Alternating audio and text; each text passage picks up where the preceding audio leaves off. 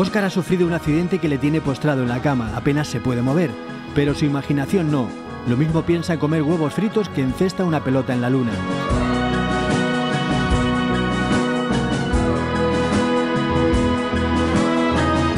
Los actores conducen las escenas de modo magistral y crean atmósferas teatrales fuera de lo común.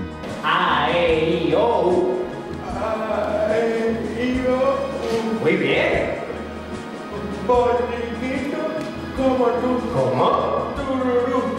Yo empiezo a, construir y a escribir la historia en homenaje a mi, a mi amigo Juanjo, que hace 17 años que tuvo un accidente y aún sigue luchando contra una grave lesión cerebral y buscando documentación, el niño ya se llamaba Oscar y todo, y de pronto encuentro que en Málaga hay un chaval que se llama Oscar Lisbona, que juega al baloncesto, que ha tenido un accidente, que estuvo en coma y que salió.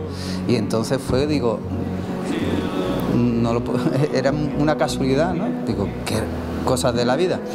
Y eh, al final hablo con él y bueno, hemos tenido varias charlas y, y, bueno, la verdad que me ha inspirado mucho, tanto Juanjo como él, para escribir esta historia. Y dormirás por siempre jamás. ¡Yo quiero mi Estás en coma y en coma te vas a quedar.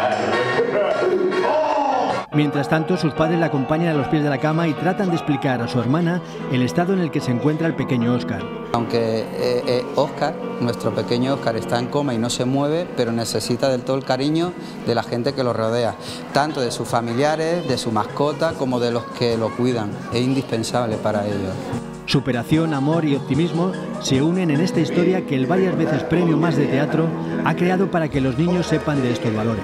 En este espectáculo hay unos 16 personajes, seis de ellos son el propio Oscar, porque eh, dependiendo de lo que Oscar está haciendo en, en escena, pues hay una marioneta diferente para poder contar la historia bien, sin demasiadas contrapisas, porque una marioneta sola no podría hacer todo lo que hacemos con él porque claro, durante muchas escenas Oscar está dormido en la cama mientras otro Oscar, su subconsciente, se mueve libre.